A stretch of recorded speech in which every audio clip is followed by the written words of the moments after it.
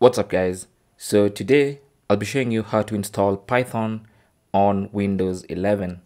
So it's very simple. The first thing you're gonna do is launch your favorite web browser. I use Chrome, so I'll use Chrome, but you can literally use any web browser. And then go to the Python official website. That's at python.org. And then hit enter. And this is the official Python website. And then you want to go to the download section by clicking on downloads. And once you open the downloads page, the Python website will automatically detect that you're on Windows and prepare for you the Windows download. So all you have to do now is click on download Python 3.10.5.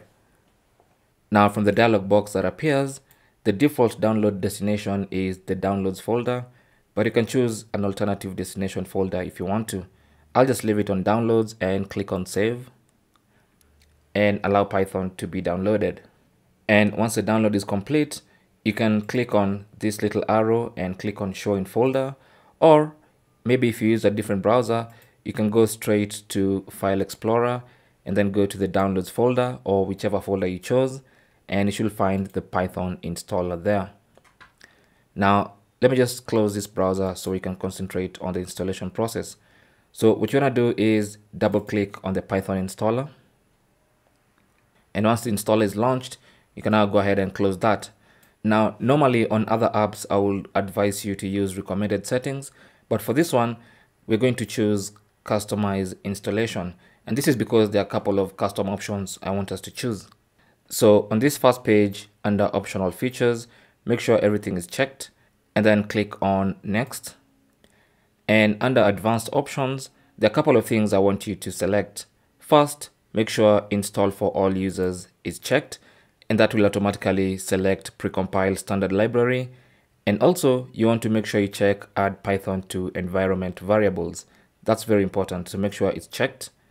And then the next thing I want us to do is create the Python folder directly into the C drive. Instead of having it under program files, Let's create the Python folder directly in the C drive. That should make our work easier once we open the command prompt. So what you want to do is copy the folder name. Just copy that. And let's change the install location. So click on browse and then go to this PC and then go to local disk C. And inside local disk C, go ahead and click on make new folder and it will create a new folder and you want to rename that new folder by pasting the name we copied. And then click OK. And this is what you should see the Python folder directly in the C drive. And then go ahead and click on install. Confirm yes you want to allow this app to make changes to your device. Click on yes and allow Python to be installed.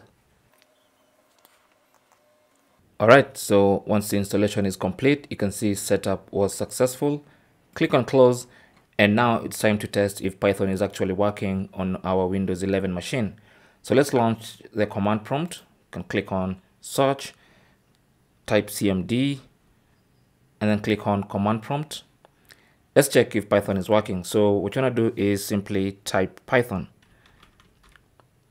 And we're only typing Python because we installed the Python folder directly into the C drive. So all you have to do now is type Python press enter and you should see the Python version that you installed. That is Python 3.10.15 and that confirms Python is installed and running on the PC. You can even go ahead and do a quick print just to ensure everything is okay. So let's go for the print function. Let's try and print that, press enter, and as you can see, it was successfully printed. We love you please subscribe and make sure you do just that. Anyway, thanks for watching and good luck.